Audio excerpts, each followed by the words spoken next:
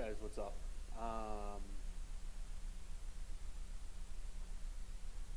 wanted to start the little series of videos that I've got going on in the works here. Um, this first video is just going to be an intro to me and um, just kind of what I'm all about, what uh, just kind of a get to know you type of a thing. Um, and this one will be relatively short. And somebody's probably going, yes, thank you. I tend to get a little windy sometimes. I get off track and I'm like you know, the proverbial dog, squirrel type of a thing, you know. Um, so I tend to find myself in some rabbit holes sometimes. Um, so you'll have to bear with me on that. And I have my little notes here, so I try not to. I try to keep myself centered, focused, whatever. Um, so first of all, um, for those of you who do not know, uh, my name is Philip. Um, I am a, the they call it here the deacon of worship. Um, this is what um, every church kind of calls it something a little bit different. Um, but uh, basically,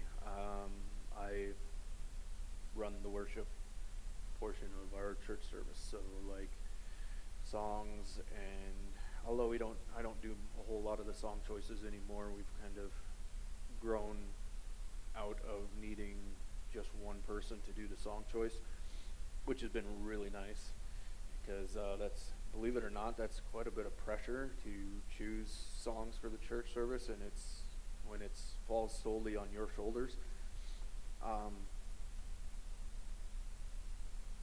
but uh, the, speaking of growing out of that, when I I first started coming here, um, I go to the Emmanuel Baptist Church, and when I first started coming here, there was one worship team, and there was uh, uh, it was a mix of different. Of, well, I guess at that time there was only one guy, which um, Stephen part of Bearded Brothers for Christ. Yeah, he was uh, the only guy um, at that time, and it was it was awesome because there was I mean just to have a worship team, it, it was it was cool. Um, it was different because we had come from a church of almost oh five or six hundred to our church, which now is oh, on a given Sunday we average maybe about 70 or so, somewhere in that area. And it has been so awesome to see God work through the worship here, um, just in the time that I've I've been the deacon of worship. Um, oh, prior to that, there was no deacon of worship. There was no real um, official Um, it basically just fell on the one the one lady that she she took it upon herself to choose the songs and and all that stuff and, and which was great because that they had somebody that would step up to do that. Um, but then when she left, they they decided that they wanted to have uh, official title person that that was had a, a, job description, you know, all this other stuff to make just make it a little more official, I guess. Um, so I put I put together a refuge night, which was basically just uh, a bunch of people getting together and singing songs for a couple hours and um, everybody really enjoyed it, and that's kind of what put my name to the forefront, I guess. Um, and then they, uh, the pastor approached me and asked me if I'd be willing to to to do it, and I, of course I said yes. And so fast forward three years, and here we are. Um, well, it hasn't quite three years, but somewhere around that area. Um, but uh, the worship team when I started was one worship team, and I think it was oh, five, six, maybe seven people, something like that. And then as God started working on, on people and, and started tugging on people's hearts, and we went from from from that one team of seven or eight people to now we have four different teams. We have a, um, a women's team, we've got a men's team, um, we have a mixed team, um, and then we have a children's team as well. So that makes up for a grand total of, excuse me, uh, right around 20 people. And I, it's just been so awesome to see um, people that have come up uh, just for the sake of the story. Um, I had uh, one of the guys on our guys team.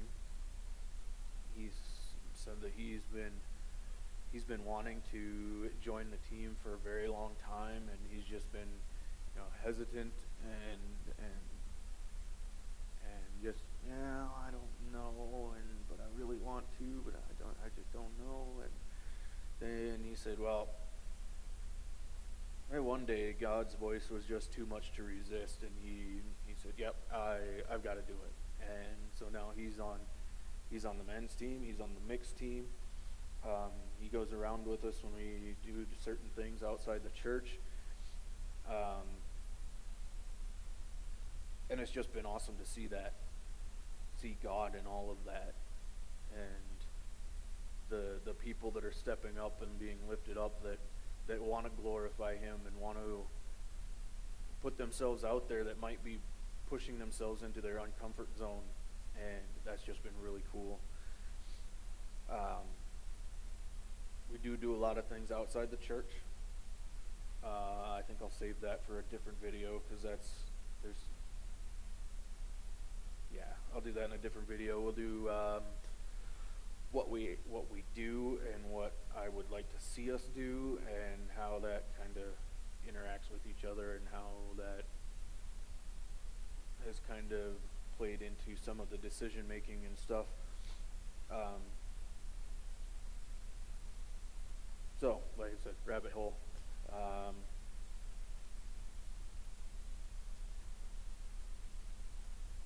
So between, I can't decide which which part kind of amazes me the most.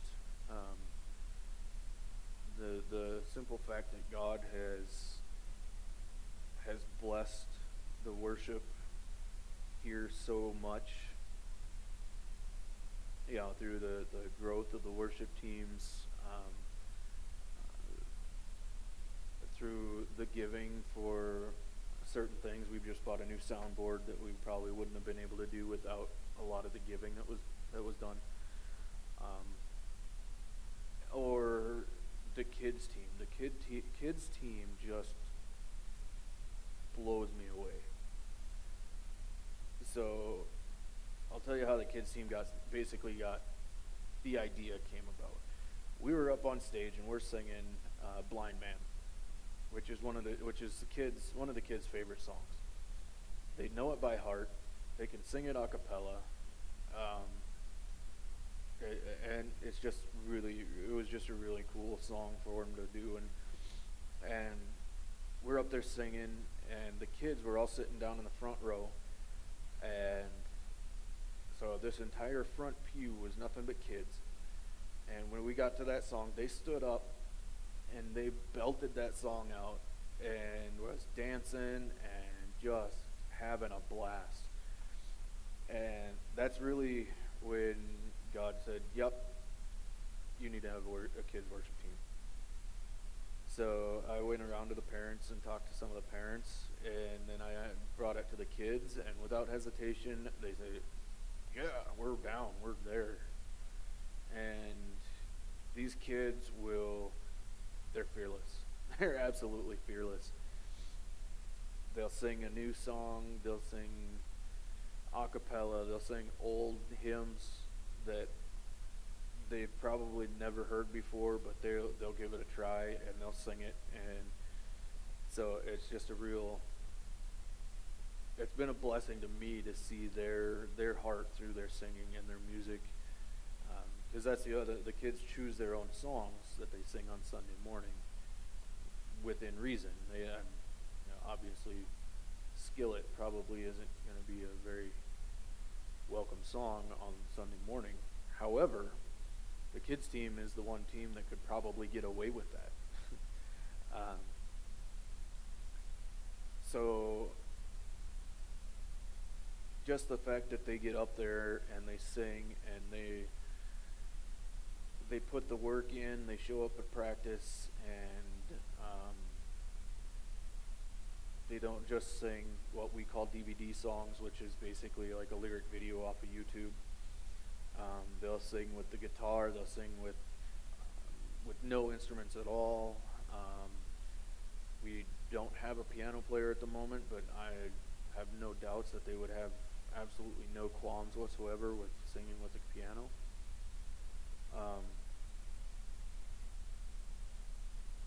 so yeah, that's been th- those those two things have just been really a real big blessing to me because I'm I'm the type of person that when I I take something on like this, I get overcritical of myself really really quickly. Like um, I'll say things like, "Oh, you're gonna mess this up," or things are gonna fall flat, and things like that. And I guess that just goes to prove that God doesn't want you comfortable. He wants you out in out of your comfort zone. That's where he's going to use you the most. That's where he's going to shine through you the most. So, I guess my challenge to you would be if you find yourself sitting there saying to yourself, I really feel like I should be doing that, but man, that would be really, really uncomfortable for me. Or I really don't want to do that because I'll get embarrassed or uh, I, you know, whatever the reason might be my challenge would be to just step out of the boat. You know what I mean? I mean, picture. I mean, you can picture that scene in your head where, where, they're they're all they're all in the boat and that storm is just raging, and the wind's blowing like crazy, and then, you know, I picture myself sitting in that boat, and I see this one guy get up, and he looks off off the boat into the distance, and all of a sudden he starts talking out there, and then you look out there and you see that he's talking to Jesus, and then he gets out of the boat. What? Yeah. And then he gets out of the boat and he's walking on water. Walking out there on the water, right there with Jesus. Until he notices the storm around him the wind blowing, the waves, all that stuff. He starts noticing that stuff. Then he starts to sink.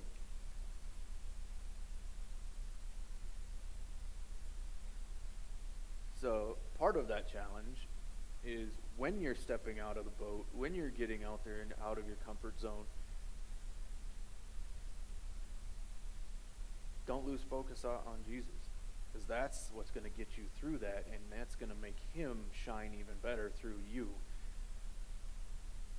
Because people know when you're out when you're out of your comfort zone. They know. I mean everybody knows that the songs that i don't really know all that well they know they, they can feel when i'm out of my comfort zone they can they can sense that but if they can sense that, but at the same time they're seeing you succeed in whatever you're doing, then all you got to do is point up. He's the reason I can do this. He's the reason that I can do whatever it is that I'm doing. And more than that, he's the reason that I'm succeeding at whatever I'm doing. So, okay, that's my that was that was my challenge for you. Um, if you ever find yourself in that type of situation, all you got to do is just in your own head say, "Okay, God, I'm going to do this." I'm going to do this knowing that you're going to shine through it. And if you focus on that, if you focus on Him shining through you by you being in your uncomfort zone, all things are possible with God, right? All right, guys. Well, if this is the first video you're seeing, hit the like, hit the subscribe. Until next time, I love you. God loves you. Peace.